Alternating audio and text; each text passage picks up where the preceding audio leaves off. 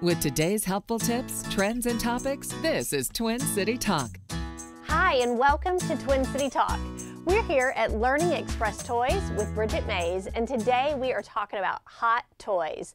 Bridget, I see a lot of STEM toys up here. Well, STEM is, is hot and it's, it's really sought after by parents that want to bring learning to the home. Uh, it's traditionally done in the schools. It's really become um, a big aspect in schools and, and now we can bring it home with toys from everything from a tumbling hedgehog that you build to real frogs that it's a biosphere that it's no fuss, no muss, it cleans itself and you're learning everything that has to do with the biosphere of these frogs. We have the wind power, robots, um, science in a bottle. I, I, mean, you can't go wrong with that.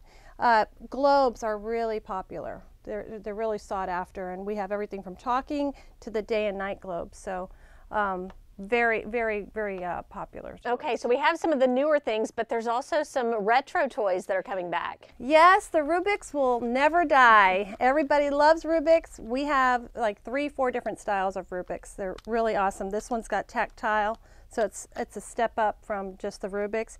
Pretty, pretty princess.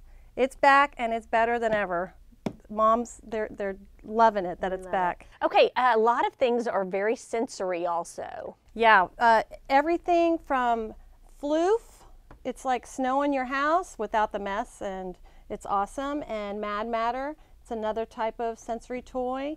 But these, the NeeDoh balls, this color changing, it's so satisfying to just squeeze it and, and just lovely. All right, they've got it all. We're talking hot toys. If you'd like to learn more, go to kbtx.com slash Twin City.